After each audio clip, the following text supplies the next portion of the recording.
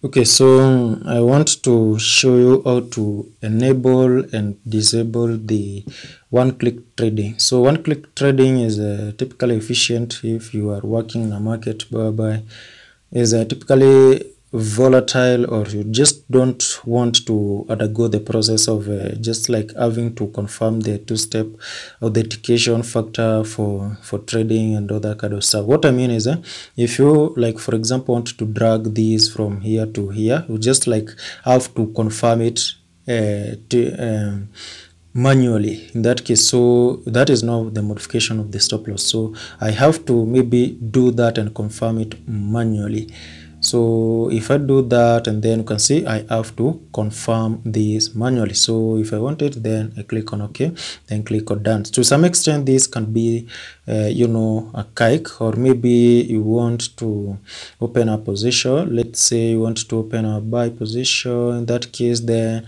just like need to come over here and uh, you need to maybe set the stop loss and the take profit. Let's say okay what did says there maybe you want to open a buy position that particular point then just like come over here need to set the stop loss which is now like typically let's say 20 uh, 20 let's say 29 point let's say 0 uh, 5 let me say 7 or uh, let me just have one or a two now you can see the, it is to some extent very very archaic for the stop loss.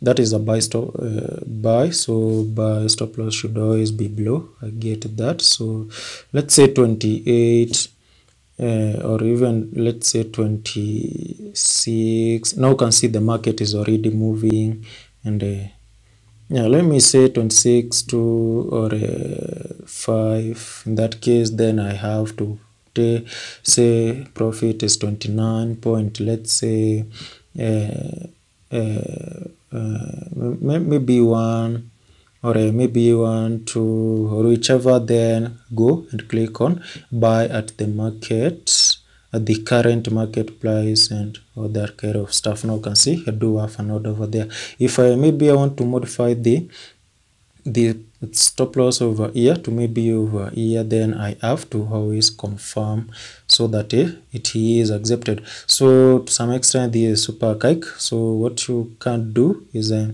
just over to tools go to options then go to trade tab over here and where you see one click trading tab just check on it. Then you have to uh, of course you know go over the disclaimer over there. And then after you have read the disclaimer of course i know you trade this one.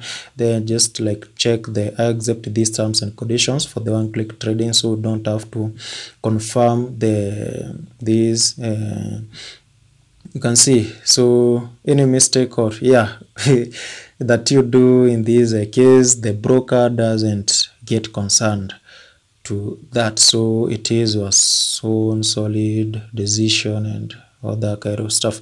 So just click on ok after accepting the the terms of course then click on ok over there. So now if i want to directly modify the stop loss i could just do it and it is automatically modified.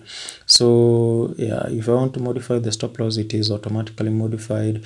If if let's say i want to open this position over here now so i could just like go ahead and once i do click on the buy i don't have the two factor authentication feature over there. If i buy i buy at that particular point and that is all. Did i really open a position over there? Let me check this out eh? if we did open a position. If i did uh, open a buy just like you don't get the two-factor authentication.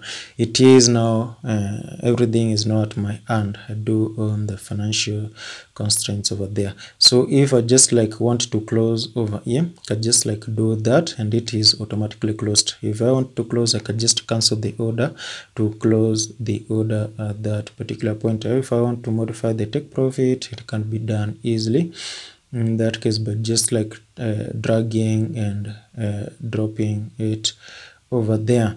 So now if you want to turn that off you can just go to the tools then options again and just like uncheck the one one click trading then press on ok. So now if i want to close this one i will get the two factor authentication of course so whereby i have to actually confirm i want to close at that particular uh, market price in that case. If i want to drag now then yeah i want i will actually have to like uh, yeah. So yeah that is the major way of just like mm, yeah can see I do have to click on all that I accept the terms and the conditions and that is all to switch like back and forth from a one click trading that case so yeah that is all you need to know about this uh, one click trading now so yep